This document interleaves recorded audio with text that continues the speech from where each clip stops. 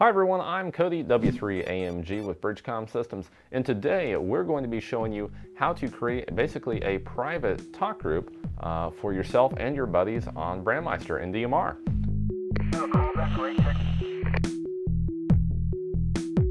So we won't actually be able to look at the Brandmeister side of things because it looks like it's down right now, the Brandmeister site, but it's still working. The server's still up and running, uh, so we should be set for the demonstration. So first thing we'll need, obviously our radio, and then we are going to need a radio ID. So we have that, radioid.net. I have my DMR ID. And then today we're using Brandmeister for this demo. You could should be able to do the same thing with different uh, networks like the TGIF network or there's a few others out there. You should be able to do a similar thing with them. Uh, but for Brandmeister, we're going to demonstrate it with that today. Um, you will need to have your Brandmeister uh, hotspot security password set up if you're using a hotspot, uh, which most likely you will be if you're doing this.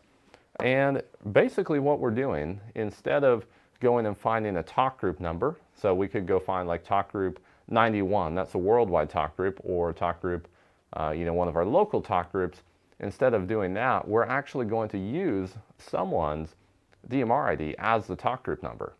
And what that's going to do is anyone else who uses that is going to be able to talk. Now, you know, it's not going to be 100% private. Someone else could stumble upon your DMR number and program the radio up and talk to you that way. Uh, so it's not really private per se, but most people are not going to do that. Uh, so you, you know, if you use one of your buddies, we can just, in this case, I'm going to be the one, we're going to use my DMR ID as the primary talk group number, and then all these radios will be set up to work with it. So let's get into it and see how it works. This is Alpha Echo Zero Lima NGO. Okay. So we'll get this set up here real quick. Uh, first thing I'm going to do, we'll set up this radio here, uh, finish setting this up, uh, and then we'll set up the primary radio. So this is going to be my radio. I've got this one already set up. One of the other guys in the shop here, uh, he'll be, uh, he's actually set up for this one, so we'll be able to uh, hear this radio go off when we transmit. I'm going to set this one up, finish setting it up for another person, and then uh, we'll show you the whole entire process on this radio. So we'll jump over here to the computer and open up the CPS. Um, so what you'll want to do is uh, just a blank radio. You want to read from your radio. Already done that. And I'm going to go a little bit fast here and then we'll go into more detail on this radio. Um, so first thing, I'm going to add my information. So if I go in here I want to add my call sign and DMR ID. Now I've gotten permission from Ron to use his for this, this example, so we're going to put his call sign in here. Just like that. And then if we go over here to the, uh, let's see, the web browser, we can find out what his DMR ID is. Just like that. Awesome, and it will show us Yep, there is the DMR ID. So we're going to put that in here. Uh, now, all of your buddies who want to use your talk group will, you know, the setup of their radio won't change. They will just add this talk group and channel to their radio. So we'll show you that here in a second. Okay. There we go. So we're set there. Awesome. And then under contact and talk group, what we're going to do is add another talk group. It's going to be a group call. Now, if you just want to talk to one other person, you can make it a private call and you would just input each other's DMR IDs. That works, but if you want to make it a group call, uh, we can do it this way. So I've got Cody's talk group in here, and then we made it a group call, and we have my, my actual DMR ID. So my call sign is W3AMG, and my radio ID is 3152688, which is what's in there. So we're set excuse me. Then we just go over to channel and actually create a channel for that, which we've done here. I've gotten it set up to work with the SkyBridge. We're, we're good to go there. And then at that point, it's just a matter of going over to the zone, adding that to our zone, which we've done. And then we can write this to the radio. So we'll write that to the radio real quick. There we go. And we should be in good shape. Awesome, so this one is set up. Uh, now all we have to do is just finish setting up our hotspot Uh, we have a, a, radio. This radio is paired to a hotspot over there um, for Lucas, and then we've got this radio set up for Ron. We'll pair that to this hotspot, and then we'll set this radio up, which is my radio. Uh, we'll set that up to this hotspot right here. So awesome. We're good to go there. Just like that. And then let's jump over here to the, the hotspot side of things real quick. Real simple to do. Uh, so you just put the, let's see, make sure we're on the correct hotspot. Yep. And for those of you who are, have not uh, set up a hotspot before, what you can do is actually look at your hotspot and the SkyBridge makes it super easy to, to find uh, how to log into it. So this IP address here, right at the top, that's what you're going to type into your web browser. As long as you're on the same network, whether that's at your home or a, a, a Wi-Fi hotspot, anything like that, it's going to work. Just make sure your computer is on that same network and you'll be able to log into it. So I've typed that in here and went to the configuration tab. Once we're inside of the, the dashboard, this is an old SkyBridge. Like I said, we shipped all the, all the new stuff down to Orlando uh, for Hamcation, so we're using an old one, so it doesn't have the updated Bridgecom colors in it. Um, but once you're inside of here, what you'll want to do is input your call sign. So this one we're setting up for, for Ron's radio. So that's going to be KC0 QVT, awesome. And then the ID, there we go. And we're going to make this 550. That's what we have everything else set up on. There we go. Should be set there. And then we want this to be private just because we have lots of hotspots running on the same, um, same frequency right now. So we're going to make that private. And then the obviously enter your Brandmeister password. If you don't have one, go to Brandmeister to set one up. Awesome, there we go. And we can go ahead and save changes. Just like that, we should be all set.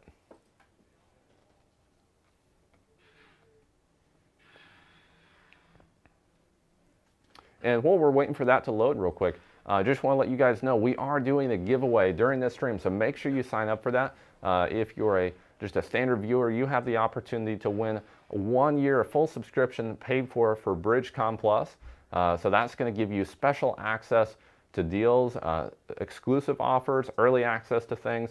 Uh, you're actually going to get in, an own, in your own private group of other Bridgecom Plus members, like-minded hams uh, that want, their, want to take their experience to the next level. Uh, so you can get you know expedited support with that. There's people there to help you all the time. And then uh, you're also going to get access to exclusive giveaways too. So if you are a Bridgecom Plus member, during this stream, we're going to give away one 878 UV2 Plus to one lucky winner who's a Bridgecom Plus member. Uh, so you're going to get access to exclusive giveaways as well. Uh, so two opportunities for you here. Uh, you could either win Bridgecom Plus or if you're a member, you have the chance to win yourself a brand new radio. How cool is that? There we go. So this is ready to rock and roll now. We have our hotspot set up. We have the radios set up. Uh, make sure we changed, let's see, both radios should be set here. Yep, we're looking good here. So now let's set up my radio. So we'll plug this in here real quick, get that turned on. I'll go into a little bit more detail with how it works on this one for you. Okay, so I'm going to close out of this CPS. We'll save it just in case we need to come back to it.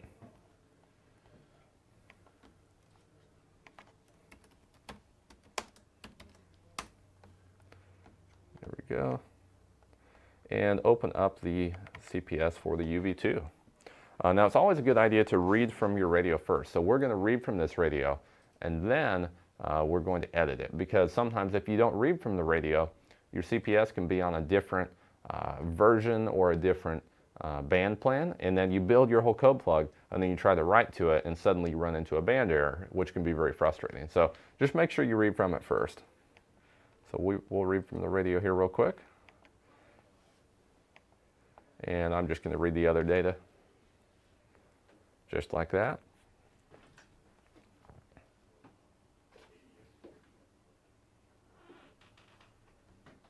Awesome. So we are all set up here, fresh blank radio. So let's set it up. First thing I'm going to do is go to digital and radio ID list. Now at this point inside of here, we'll just put my own information. Uh, and you would do this the same no matter who you are. So we'll put my radio ID, which is 3152688. Oops. And then my name and call sign. Awesome, just like that. There we go, we're good there. And then we'll go up to talk group, contact slash talk group. And in this section, uh, this is where we want to input the talk group. So we're going to give it a name.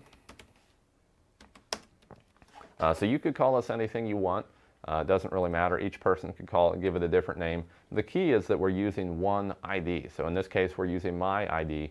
And I could have, you know, I could have 30 buddies if, if I wanted to, all using this same ID. So if I wanted to host like a, a private room uh, myself, I could give people my radio ID and say, put this in as a talk group in your radio. And now everyone's going to be able to access that talk group who has my ID. Um, so, you know, obviously it's not going to be 100% private, but for the most part, it's very practical and it works great. So we're going to input, in this case, we're using my ID as the host. So we'll input that in there. Let's see, 3152688, just like that. And we want that to be a group call. If you make it a private call, uh, you're not going to be able to have different people in it.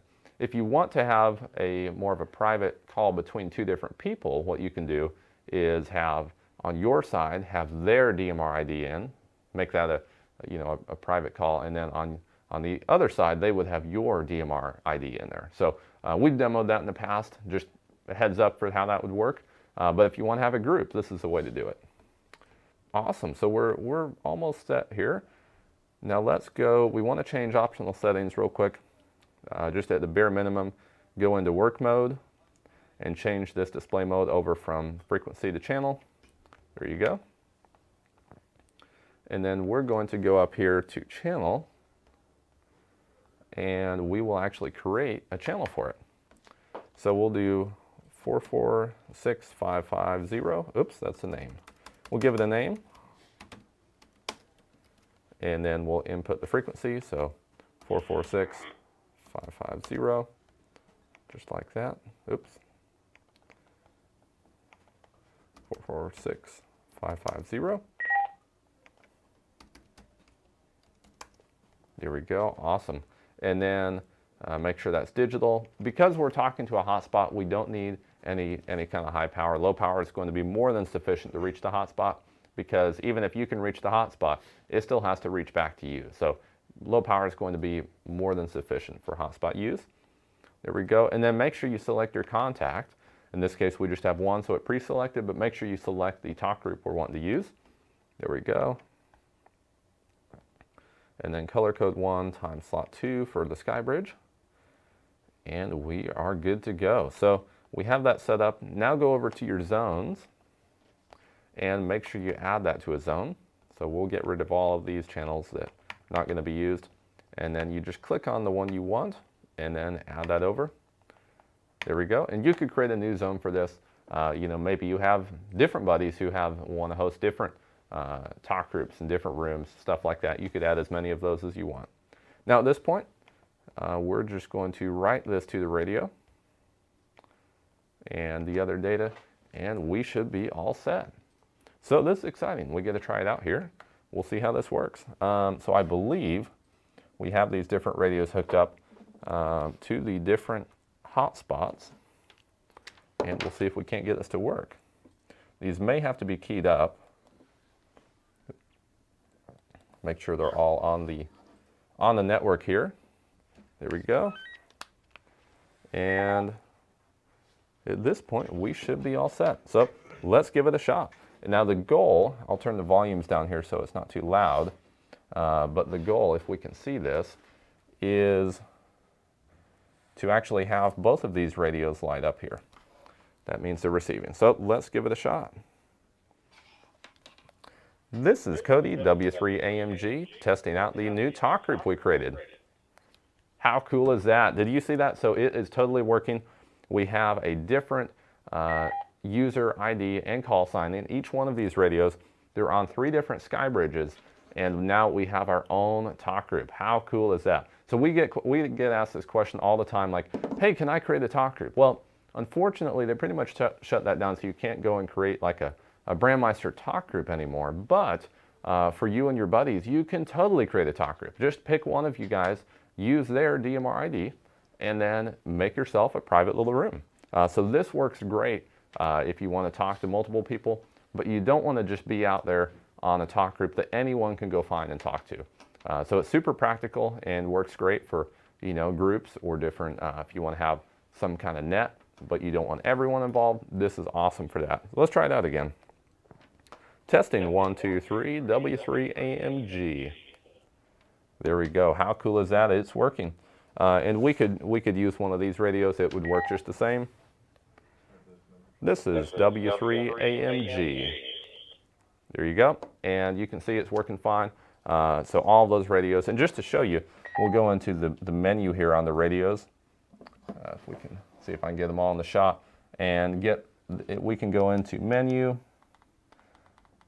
and settings and device info. There we go. We can see the radio ID and call sign. I believe this is Lucas's radio. We'll go into this one here. Go down to settings, device info. There we go. This looks like Ron's radio. And then if we go in here, we can go down to settings, device info, oops, and this is my radio. So they're all working together, uh, totally separate call signs and radio IDs. And there we have it. So that, that, that went pretty well, actually. Uh, we got that set up in no time. So if you guys want to create your own talk group, super, super simple to do. Thank you all very much for watching. I hope you learned something from today's video. If you did, be sure to hit that subscribe button and click the notification bell next to it make sure you don't miss out on any more great content. That's all I have for you today. I'm Cody, W3AMG, 73.